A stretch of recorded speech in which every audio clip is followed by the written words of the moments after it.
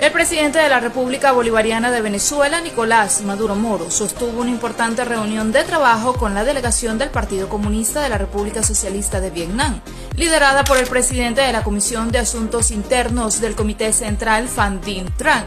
Encuentro que fortalece las alianzas estratégicas en materia política, económica y tecnológica. De esta manera, el gobierno bolivariano impulsa el crecimiento de Venezuela para el desarrollo del poder popular y político, por medio de la cooperación y el diálogo como única vía que permite la integración.